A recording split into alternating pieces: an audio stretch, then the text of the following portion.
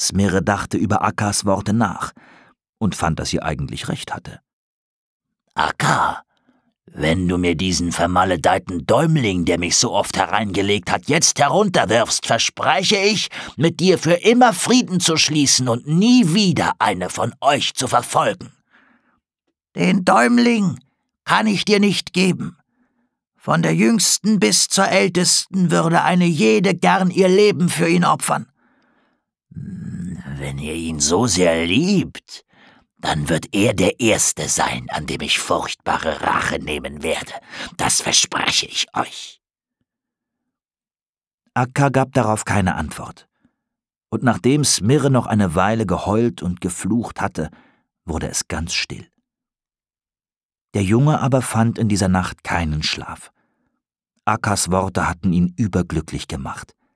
Aber gleichzeitig ängstigte ihn Smirres Drohung, und er wünschte sich, endlich wieder ein Mensch zu sein.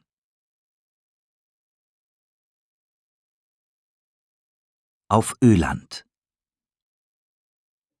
Die Wildgänse waren auf eine Schäreninsel hinausgeflogen, um dort zu weiden, als sie unterwegs auf eine Schar Graugänse trafen.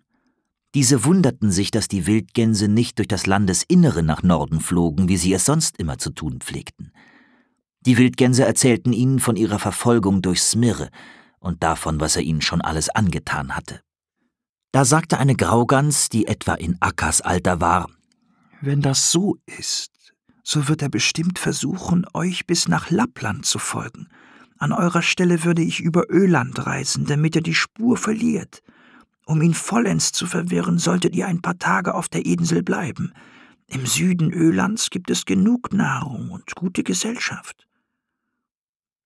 Das war ein guter Rat und die Wildgänse beschlossen sogleich nach Öland hinüberzufliegen.